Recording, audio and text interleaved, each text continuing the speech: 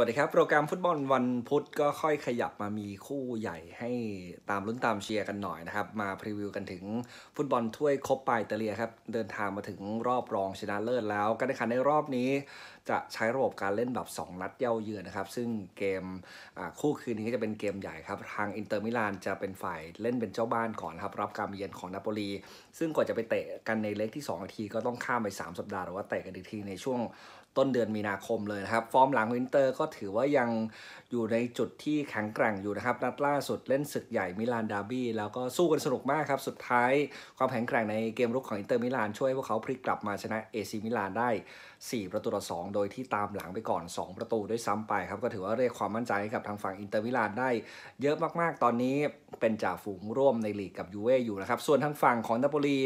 ก่อนหน้านี้ย้อนไปเหมือนจะมีทิศทางดีขึ้นมาครับชนะ 3 นัดรวดจากทุกถ้วยขึ้นมาก่อนที่นัดล่าสุดเนี่ยแพ้คาบ้านหน้าตาเฉยกับทางเลเช่ไป 2 ต่อ 3 ครับ อันดับในลีกถือว่าไม่ลุ้นอะไรแล้ว ปีนี้นาโปลีก็จะไปลุ้นกันเต็มที่ในฟุตบอลถ้วยที่เหลือก็คือรายการนี้ครับโคปปาอิตาเลีย แล้วก็อีกหนึ่งถ้วยใหญ่อย่างยูเอฟ่าแชมเปี้ยนลีกในขณะที่อินเตอร์มิลานถัดจากเกมนัดนี้ไปเนี่ยในช่วงสุดสัปดาห์พวกเขามีเกมใหญ่ในลีกนะครับจะเล่นกับทีมลุ้นแชมป์ด้วยกันเองด้วยการไปเยือนลาซิโอถือว่าเป็นศึกหนัก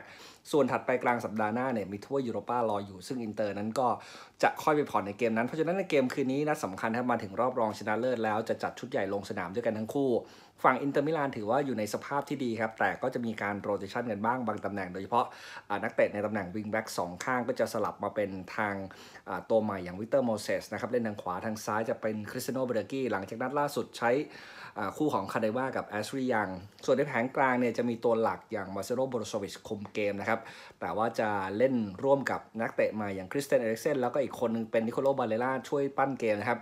กองหน้าจะ น่าจะพักลูกากูไว้เป็นสำรองนะครับแล้วก็จะส่งเลาตาโรมาร์ติเนซที่ฟิตมาเต็มที่เลย เนื่องจากว่าเกมลีก 2 นัดล่าสุด ไม่ได้ลงสนามเพราะว่าติดโทษแบนนะครับ โดยจะเอาเลาตาโรมาร์ติเนซมาจับคู่กับอเล็กซิสซานเชซแล้วก็มีลูกากูคอยนั่งสำรองไป ส่วนฝั่งนาโปลีรวมๆ แล้วทีมถือว่าค่อนข้างสมบูรณ์ครับ จะขาดตัวแบ็คขวาที่ติดโทษแบนอย่างเอลเซอิดฮีไซแค่นั้นเอง ก็จะใช้เป็นโจวานนี่ ดิ ลอเรนโซลงเล่นแทนนะครับ คู่เซนเตอร์จะเป็นมาโนลาสจับคู่กับทางนิโคลามักซิโมวิช แล้วก็ในแผงกลางดิเอโกเดมเม่ครับตัวใหม่ที่เพิ่งได้เข้ามาเมื่อเดือนที่แล้วจะเล่นร่วมกับอัลลันแล้วก็ปิออเตอร์ ซิลินสกี้เกมรุกก็จะส่ง 3 คนครบนะครับดรีสเมอร์เทนส์ทางลอเรนโซอินซินเย่แล้วก็รวมไปถึงโฆเซกาเยฆอนเกมคู่นี้เปิดหน้ามาให้ทางฝั่งของอินเตอร์ ก็ถูกมองว่าควรจะต้องชนะไว้ก่อนเป็นเกมแรกนะครับ ก็ดูปัจจัยหลาย ๆ อย่าง และความพร้อมของอินเตอร์ ความยืดหยุ่นแม้เพิ่งผ่านเกมหนักมา แต่ว่า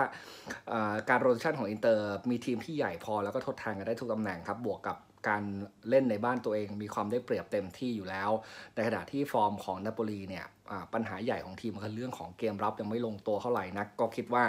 เกมรุกของทางฝั่งอินเตอร์มิลานรวมไปถึงพวกผู้เล่นสำรองที่พร้อมจะมาเปลี่ยนเกมได้ตลอด แล้วจะทำให้ทีมงูใหญ่เก็บชัยชนะไปได้ก่อนในเกมแรกนะครับ เพราะฉะนั้นก็คิดว่าเกมคืนนี้จะยังคงเป็นของทางเจ้าบ้านอินเตอร์มิลานครับผม นี่คือพรีวิวของถ้วยโคปปาอิตาเลียที่นำมาฝากนะครับ พรุ่งนี้มาเจอกันใหม่ครับ สวัสดีครับ